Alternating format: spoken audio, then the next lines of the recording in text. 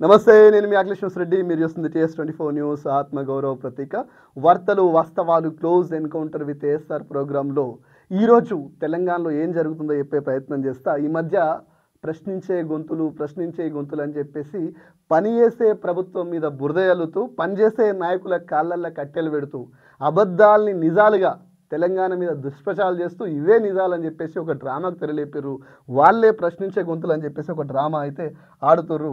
ఆ డ్రామాలో కొంతమంది గురించి చెప్పే ప్రయత్నం చేస్తా ఈరోజు వీడిని మనం క్లోజప్ తీసుకుంటే వీడు నరోత్తం రెడ్డి గారు ఇంతకుముందే అన్నాం కదా ప్రశ్నించే గొంతు ప్రశ్నించే గొంతు అని చెప్తే ఎట్లుంటుందంటే సొంత కన్న తల్లిని పట్టుకొని ఇరవై ఒక సంవత్సరం తర్వాత వచ్చి నేను మా అయ్యకే పుట్టిన డిఎన్ఏ టెస్ట్ ఎందుకు చేయొద్దు? నాకు ప్రూఫ్లు కావాలంటే ఎట్లుంటుందో ఐదేళ్ళ తర్వాత రెండు వేల పద్దెనిమిదిలో ఓడిపోయిన ఈ రండా ఈ లుచ్చాగాడు ఈ లోఫర్ గాడు రెండు వేల ఇరవై మూడు నాడు వచ్చి రిగ్గింగ్ జరిగింది రిగ్గింగ్ జరిగింది అని చెప్పేసి డ్రామా ఆడుతుండు. నీకు రిగ్గింగ్ కాదు బిడ్డ ర్యాగింగ్ ఎట్లుంటుందో చూపిస్తా జర్ర ఓపిక పట్టు. ఇంకా వీడు ఏమంటాడు సిద్దిపేటలో హరీష్ రావును పట్టుకొని? తెలంగాణ ఆశ సిద్దిపేట బాదిషా హరీష్ రావుని పట్టుకొని ఈ చిల్లరగాడు కొన్ని చిల్లర కామెంట్లు చేశారు వీడు చిల్లరగా కామెంట్ చేసినప్పుడు మనం ఎందుకు మౌనంగా ఉండాలి? వీడు తిడితే మనం కూర్చోవన్నా వీడికి ప్రజాస్వామ్యం ఒకటి ఉంటుంది మనకు సపరేట్ ఉంటుందా? వీడు తిడితే నేను రెండు తిడతా. ఎందుకంటే సిద్దిపేట బిడ్డను ఉద్యమకారుణ్ణి నేను. తెలంగాణ కోసం జైలు గోడలు ముద్దాన్ని Siddipet police station Hyderabad police station కాదు ఢిల్లీ పోలీస్ స్టేషన్లో దెబ్బలు తిన్న బిడ్డని నేను. ఈ రెండగాడు మాట్లాడితే ఓ ఉద్యమ నాయకుని గురించి మాట్లాడితే మేము మౌనంగా ఉంటామా? కొడుక చెప్తాను ఈ సంగతి చెప్తా జర రోపిక పట్టు ఏమంటుండు? రెండు వేల పద్దెనిమిదిలో ఓడిపోయి పారిపోయి ఐదేళ్ళలో మళ్ళా సిద్దిపేటలో కాల్వెట్టలు ఈ రండ నిన్న సంజయ్కి పదవి పోగానే ఈయన వచ్చి డ్రామాలు స్టార్ట్ చేసిండు. ఈ వెనుక నడిపిస్తుంది ఈటల రాజేంద్ర. రాజేంద్ర నీ కథలు తెలుసు నీ కార్ఖాన తెలుసు నీ కథ జర్రంత ఓపిక పట్టు చెప్తా. పోనీ ఐదేళ్ళ తర్వాత ఎందుకు వచ్చిండు? ఇప్పుడు ఎందుకు డ్రామా ఆడుతుండంటే ఇది ఒకసారి క్లోజప్ తీసుకుందాం. ఇది హరీష్ రావుది ఇది అందరూ తెలిసిందే. రెండవది భవానీ అని చెప్పేసి భవానీ అక్క కాంగ్రెస్ పార్టీ ఆమె నయన్ నరతం రెడ్డి గారు థర్డ్ బీజేపీ. రెండు వేల పద్దెనిమిదిలా నేను పొడుస్తా అంత ఇంత అని పీకుడు మాటలు మాట్లాడి డ్రామాలు ఆడినటువంటి ఈ దొంగ మూడో స్థానంలో దిగజారిపోయాడు. థర్డ్ ప్లేస్లో ఉన్నాడు.